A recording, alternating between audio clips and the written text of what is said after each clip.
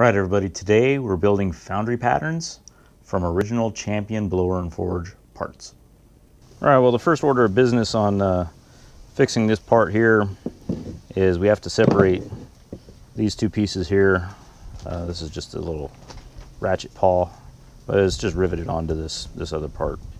So we're gonna see if we can uh, use a chisel and chisel it kind of a single bevel deal. I got a regular cold chisel here, which would probably work, but this one, I'm kind of hoping to just cut this head away from the uh, from the casting.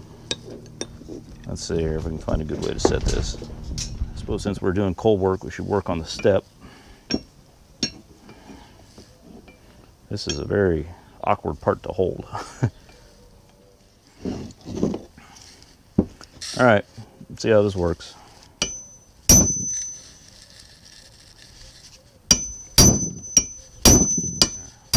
That seemed to catch into it.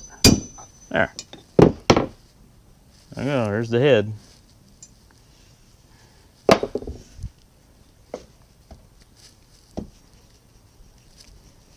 Come on apart. All right, I found a punch here that fits in there pretty decently. These are a set of Harbor Freight ones, and you can see why nobody likes them because they're they're not hardened properly. So they don't hold up very good. But they certainly are cheap. All right, got it out of that piece. Okay. And I'll, Peter, I'll save this and we'll send it back to you. That way you know what size uh, size you need. It's got to be that plus a eh, quarter of an inch or so.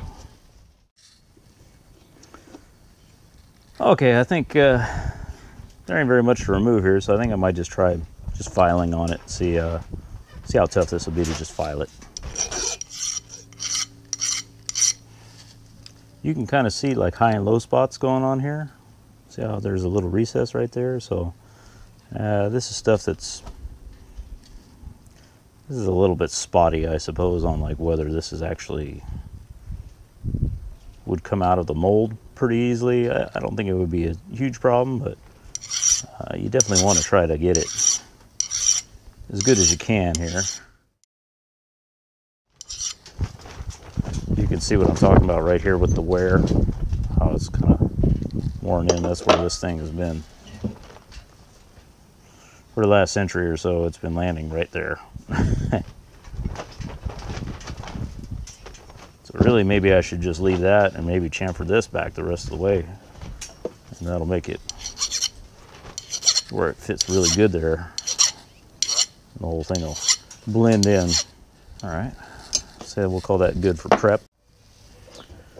Okay so our initial prep on uh I don't know. This is our ratchet wheel I guess or whatever. Uh, shouldn't be too much. We just got to take this set screw out here really Boy, that's sitting there pretty good. Make sure to save that. Square-headed bolts are hard to find. Although probably you can find one of these set screws pretty easily, I would think. That's a pretty easy lathe project if you had to make another one though.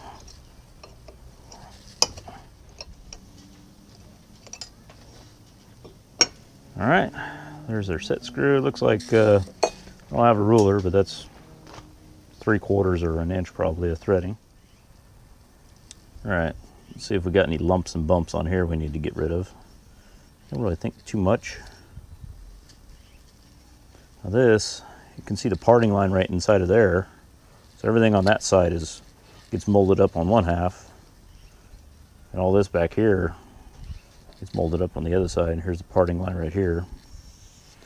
So this, that's gonna be a problem right there. Let's file on that, blend that together some, that should help.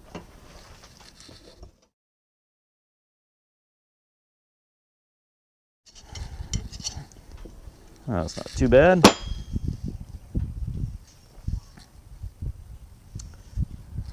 think that probably will work. All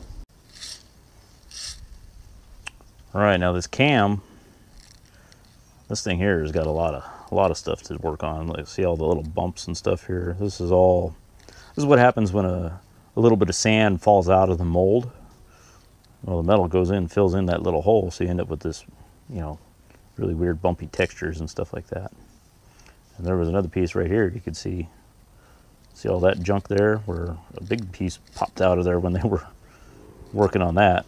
So that's got to all go because if we were to mold this up in the sand, well, it's that's going to be trapped in there. When you go to pull it out, it's going to rip all the sand out. So we got to get rid of that. Uh, see what we can get here with the file, and then uh, probably we'll go find the Dremel.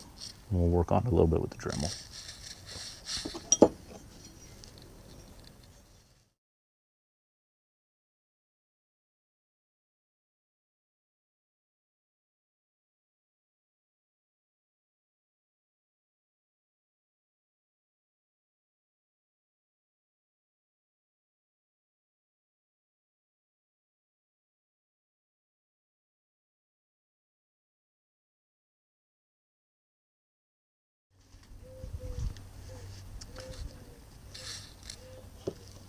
All right, well, I went and got my Dremel, and we got a small uh, carbide burr here. So, eh, I don't know, I think it's an eighth inch. Let's see if we can't clean up this part here, and then maybe we'll go over these other ones and sort of fine tune them a little too.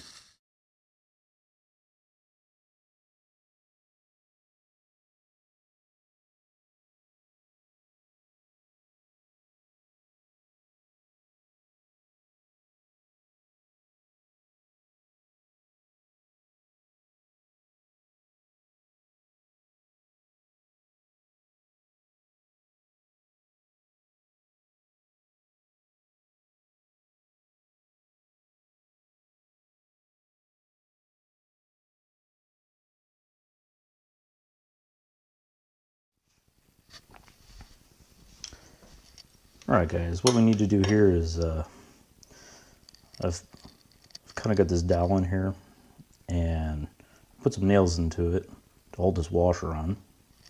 And that should make more or less the outlet of a, or the outline of a, a cylinder that's got a little bit of taper. So we can make this a little bit longer. All right, so eh, you could do this with Bondo, but I don't know, this stuff stinks horrible. So this stuff here, I think came about in the 1920s. Well, the vintage logo here. Still using this exact same logo all these years later. But uh, this is Durham's water putty, or Durham, Durham's water putty. And it's, I guess, kind of a gypsum-based material. But it sets pretty quick. Oh, I got a spoon in here already. Very good. And it's supposed to be three parts powder, to one part water by weight. And I have no idea how much this stuff weighs. And we're probably not even going to try to measure really. We'll just slowly kind of add a little bit of water here.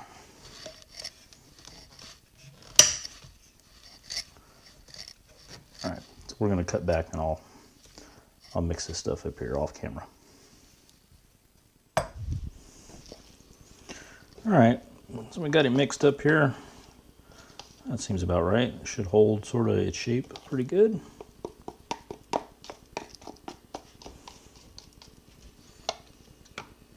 Okay, I'm start spreading it in there, I guess.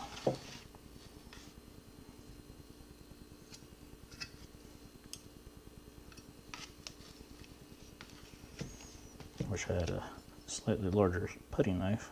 This is actually a dental tool. I have a friend who works in a dental laboratory and builds dentures and things like that.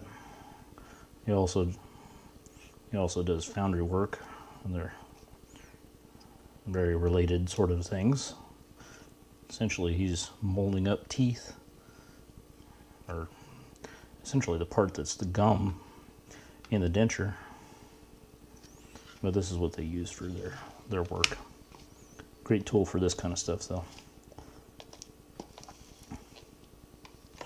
In fact, if you remember when we made the uh, boilerplate for a small steam engine.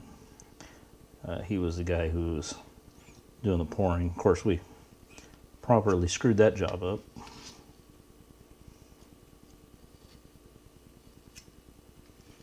I'm putting a lot of extra on here right now, but we'll clean it up in just a minute.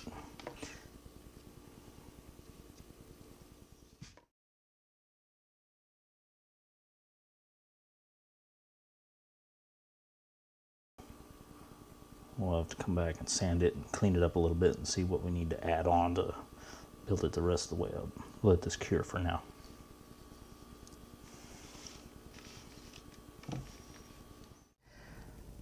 All right, guys, if you enjoy seeing old machinery repaired and put back together, uh, why don't you go ahead and click on the old horizontal mill over here and uh, check out the videos that are coming up below.